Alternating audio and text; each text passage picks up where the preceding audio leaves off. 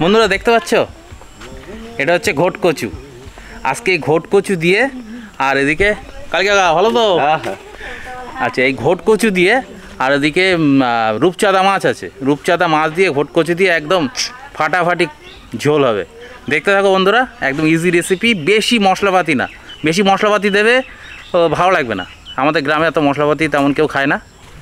দেখো শুধু জিনিসটা। খুব উপকারী ন্যাচারাল জিনিস। আর এমনি তো সব মাটির উপরে যেগুলো হয়, সার তো দেয়ই। এগুলো মাটির নিচে থাকে। সেগুলো, এগুলোতে সারটার একটু কম দেওয়া হয়। মানে সারটা এর গায়ে লাগে না। মাটির নিচের জিনিস কিন্তু ভালো।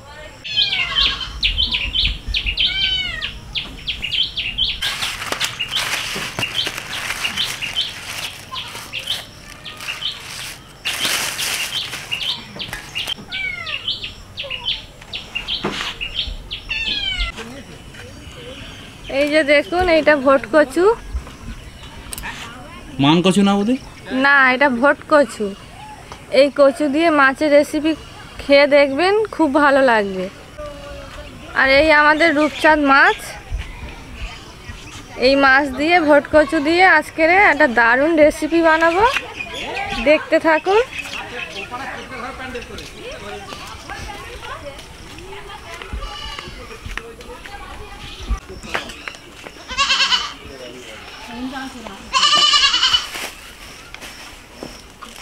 মাছ কেটে নেব।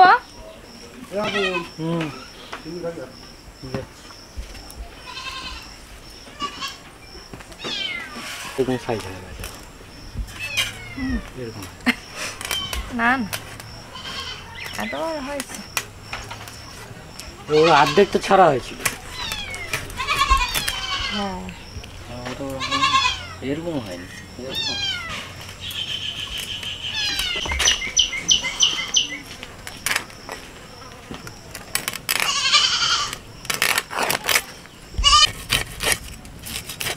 नहीं रात में किसी ना जावा लोग आ जाए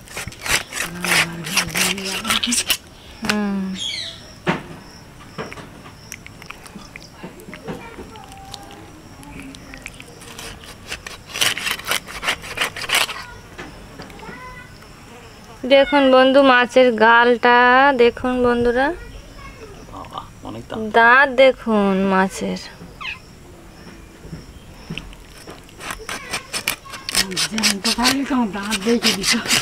হ্যাঁ। এই এই মাছ আমাদের পুকুরে ছাড়া আছে তো। হ্যাঁ। হবে? মোটামুটি বড় হবে। এতদিনে এর মানে এর একটু হাফ হয়ে গেছে। আচ্ছা।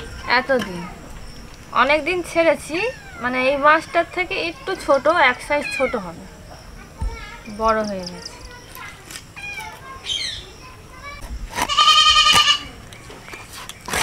ওই রিং পিস হবে? হ্যাঁ রিং পিস করে নিচ্ছি। এক বিঘে। দেখুন বন্ধুরা পেটিটা কতটা লম্বা আমি পেটি করিনি। রিং পিস করে নিয়েছি। বড় বড় হয়েছে। বন্ধুরা, শুনতে পাচ্ছ? দেখো, শিয়াল ডাকছে। শিয়াল ডাকছে না? হৌ হৌ করে শিয়াল ডাকছে। আমি তোমাদের বন্ধুরা, শিয়াল দেখাবো একদিন, যেখানে শিয়াল কীরকম আছে। শিয়াল আছে আর একটা ছোট একটা জীব আছে, তার নাম হচ্ছে খটাস সেটা অরিজিনাল হচ্ছে বন বিড়াল সেটাও তোমাদের দেখাবো বন্ধুরা।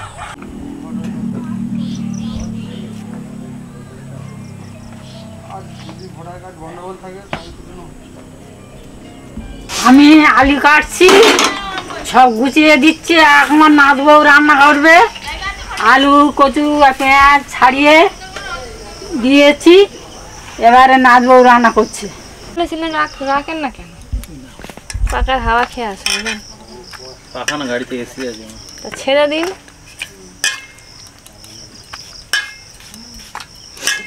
মাছে হলুদ দিয়ে দিচ্ছি। লবণ দিয়ে দিচ্ছি পরিমাণ মতন। ভালো করে মাখিয়ে নিচ্ছি।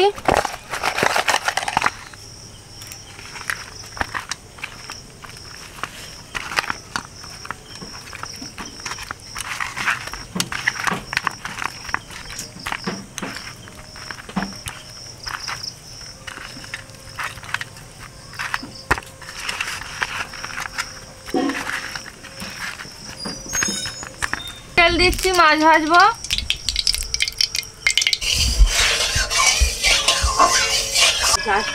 তেল গরম হয়ে গেছে মাছ ছেড়ে দিচ্ছি।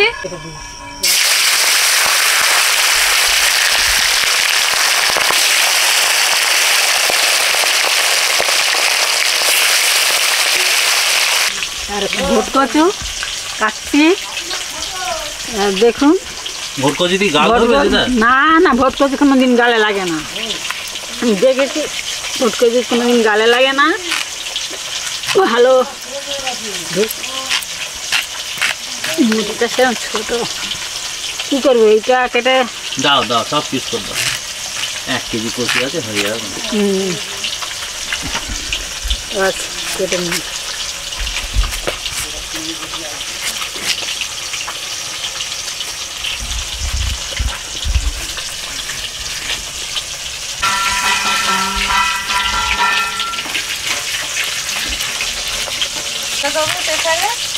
আর লাগিয়ে কড়াইটা আবার ফুটে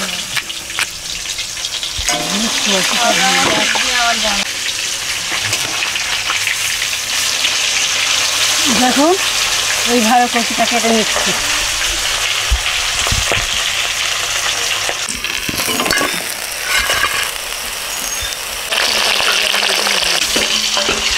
কচু আছে আর আলু কাটা আছে।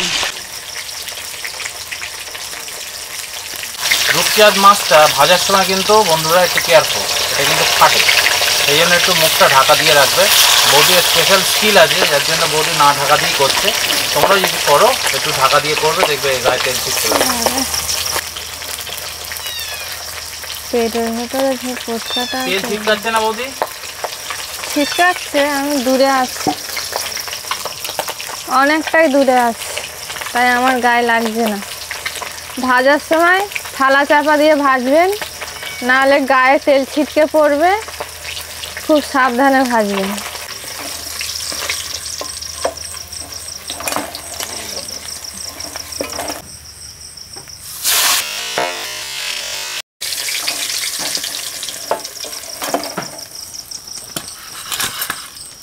মাছ ভাজার তেলে তরকারি বসিয়ে দিচ্ছি, পেঁয়াজটা দিয়ে দিচ্ছি।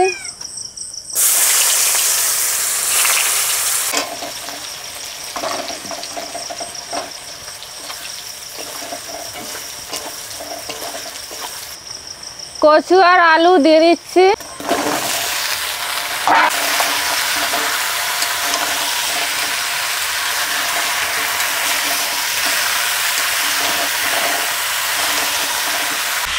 কচু তো এমনি খেতে ভালো, মাটির তলা জিনিস।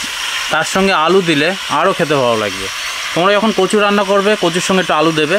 আর যারা আলু পছন্দ করো না, নাও দিতে পারো। বৌদি দুটোই করছে একসঙ্গে, এটা আরও বেশি ভালো লাগবে খেতে। আদা রসুন বেটে নিচ্ছি।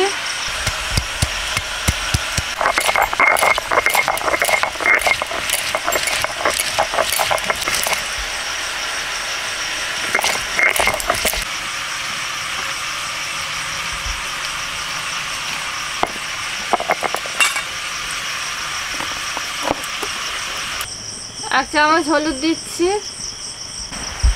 এক চামচ লঙ্কার গুঁড়ো, ধনিয়ার গুঁড়ো এক চামচ। জিরের গুঁড়ো এক চামচ, আদা রসুন বাটা দু চামচ।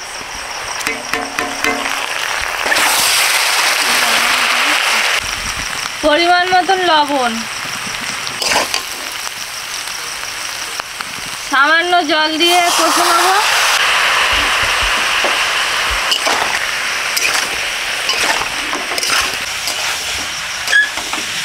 এই মাছটা টাটকা মাছ।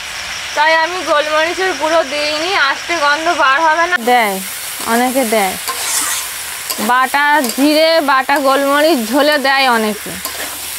খাওয়া ভালো, শরীরের স্বাস্থ্যের জন্য ভালো।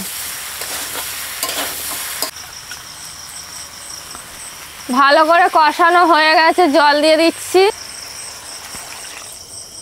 কচুটা কেরম দেব না হলে প্রেসারে দিতে হবে। ঢাকা দিয়ে দিলাম।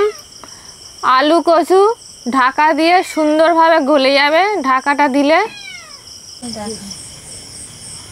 মাছ দিয়ে দিচ্ছি।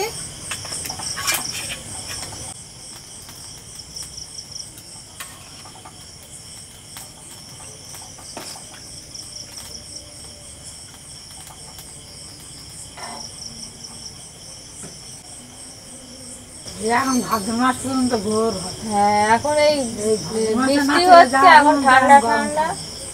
ঠান্ডা ঠান্ডা এখন ঠিক আছে। না তো রাত্রিরে ঘুমার ঘুম হতো না এত গরম হতো উঠে বসে আছি। গুমসু গরম কিন্তু ভাদ্র মাসে এটা গুমসু গরম। গরম কিন্তু সব থেকে গরমটা ভাদ্র মাসে। ভাদ্র মাসে পড়ে হ্যাঁ। ভাদ্র মাসের লোক ঘরের কাজ করবে। মাসে ভাদ্র মাসে জ্যৈষ্ঠী মাসে গরমটা হ্যাঁ ভাদ্র মাসটা চলে গিয়ে আশ্বিন মাস পড়বে। রান্না পুজো যাবে তারপর আশ্বিন মাস দুর্গা পুজো হবে তখন একটু হালকা হালকা ঠান্ডা ঠান্ডা লাগবে। না আর তো কালী পুজোর পর থেকে তো হবে আর সবথেকে খারাপ হচ্ছে শীতকাল যখন চলে গিয়ে গরমকাল শুরু হয়। আবার হ্যাঁ। গরমকালটা এত বিচ্ছিরি কাল না শীতকালটাই ভালো। সত্যি এটা শীতকালটা ভালো। মাঠে ঘাটে যেখানে যেরম ভাবে লোক চাইবে বসে শুয়ে দিন পার করতে পারবে। গাড়ির চাকা বসবে না। গাড়ির চাকা না বসুন মানুষের চাকা ঘুরলেই হবে। শীতকালে গাছতলায় মা রোদ্দুরে গিয়েও বসো কোনো ব্যাপার নেই। ছাতাও লাগবে না বা ছাওয়াও লাগবে না। শীতকালে সমস্যা বোধ হচ্ছে চান করার সময়। হ্যাঁ ওটা একটু কষ্টকর হলে কি হবে তাও বলব আমি শীতকালটা সবচেয়ে ভালো কাল শীতকালটা সবচেয়ে ভালো। সব কালেই যাবে শুনলে তো বন্ধুরা শীতকালে ভালো, কিন্তু শীতকালে আমার কথা হচ্ছে চান করার সময় অসুবিধা আর গরমকালে তো পুরো। বর্ষাকালে প্যাচ প্যাচে কাদা এখন তোমরা জানিও কমেন্টে যে কোন কালটা তোমাদের সব থেকে ভালো লাগে। জয় গুরু। সাধনা। গুরু নাম করো সাধনা। সাধনা যে নামে সাধনা।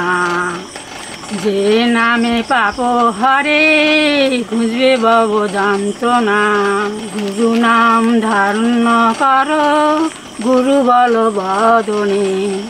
গুরু নাম সার করো, গুরু শান্তি পাবে জীবনে।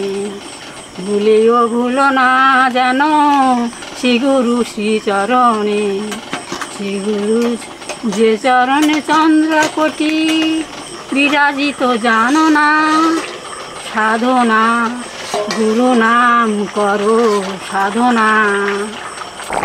আলু, কচু সব গলে গেছে। দেখুন বন্ধুরা, এটা কচু। কচুটা কত সুন্দর গলে গেছে দেখুন। দিদা, ওই থালাটা, বাটিটাকে বসাতে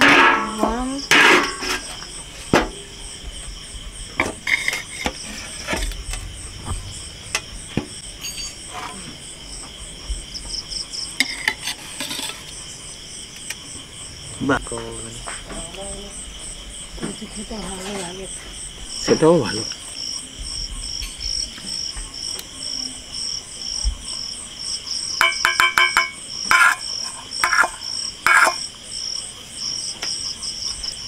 ঘট কচু। এটা ভোট কচু? আচ্ছা। আচ্ছা আমি খেতে শুরু করছি। একদম।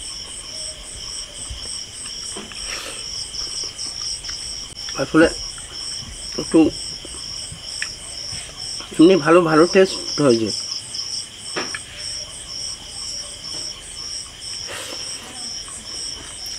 গালি ধরছে না। ভালো টেস্টফুল হয়েছে।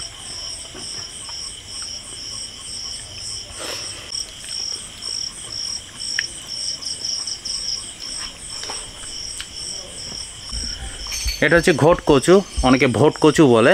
এখন এই কচুটা তোমরা বাজারে গিয়ে নিশ্চিন্তে কিনতে পারো। তবে হ্যাঁ দোকানদারকে একবার একটু জিজ্ঞেস করে নেওয়া ভালো। কাকা যেমন বলল, গালে কিন্তু ধরছে না।